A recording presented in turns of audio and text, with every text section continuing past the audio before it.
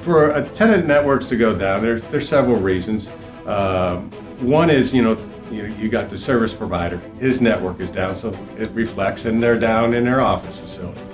Two is that uh, the network provider uh, indicates that their network is not down, and it's an inside wiring issue. So now it gets pushed over to the tenant, who has to go to the property manager and try to resolve that issue. Another one that really is, is not really talked about too much, but we've seen it happen uh, considerably uh, in the last several years, is disgruntled employees. You have disgruntled employees who go into closets and they pull off cross connect or patch cords and so forth like that. Networks down.